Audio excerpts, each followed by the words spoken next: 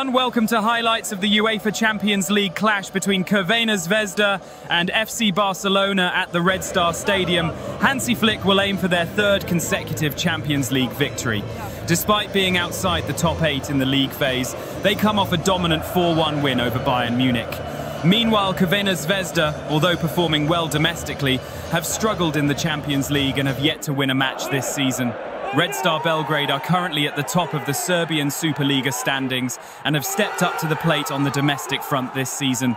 The home side eased past Vojvodina by a 3-0 scoreline over the weekend and will be confident ahead of this fixture.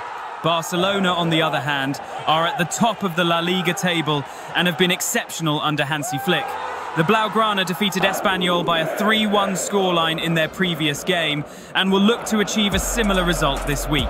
With key injuries for both sides, including Barcelona's Ronald Araujo and Crvena Zvezda's Peter Olayinka, the game could see several tactical adjustments.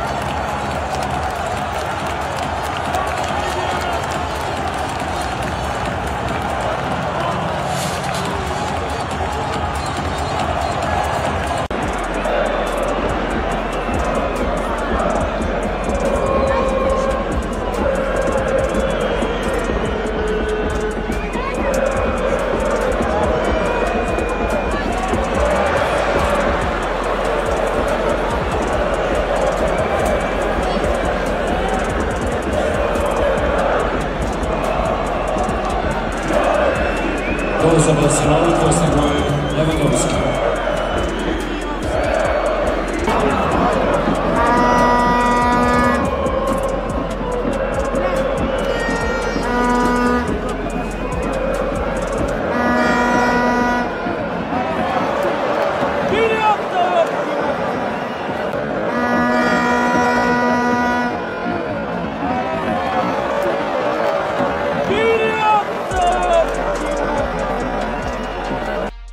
Thanks for watching this video. Please hit like button and subscribe our channel for daily football highlights.